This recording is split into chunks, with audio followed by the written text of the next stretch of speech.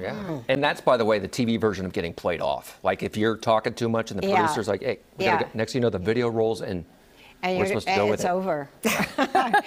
But nobody ever does that to you, Kristine. Oh my gosh, weather is notorious for going over and round. Why did you round, point at me round, for that? Julie's a talker. I mean, I'm a verbal processor.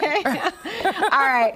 Okay. See the graphic? I didn't even See, we just got played off. that. There you go. Case Wrap. in All point. right. All right. Uh, you notice temperatures went up. We had lighter winds today, and look what happens. I don't know if you could see the hazy visibility throughout the valley today. We've had a lot of fog and low cloud cover throughout the last couple of mornings, so somewhat damp here in the valley and a little bit with the light wind. Uh, more visible, let's put it that way. So hazy uh, visibility here, good visibility everywhere else.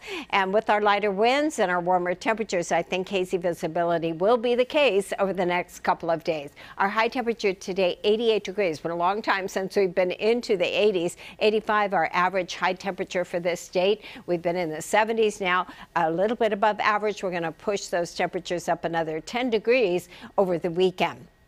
110.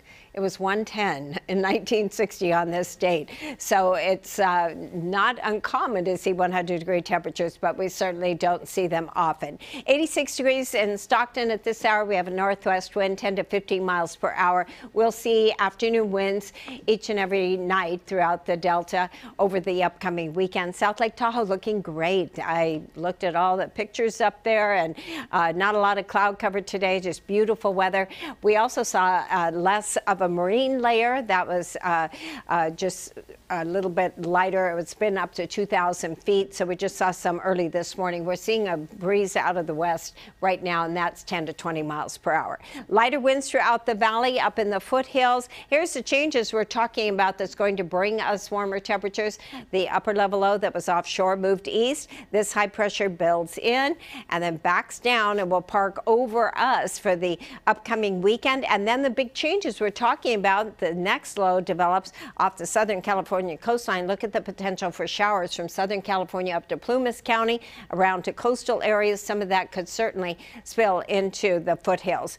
River temperatures will be running cold. We'll see temperatures in the low 50s, north end of the Sacramento River, otherwise just low to mid 50s. And no possibility of thunder showers, at least tomorrow. We'll bring that back, though, by Sunday. Your forecast low temperatures tonight still freezing up in the Sierra, 50 degrees, Pollock Pines, 53 here in Sacramento, Fairfield. Daytime temperatures tomorrow widespread, upper 80s and low. Uh, this was today's high temperatures. Here's our forecast for the next seven days. Delta looking warm to hot by Sunday and Bay Area. Also temperatures under mostly fair skies will be in the mid to upper 60s.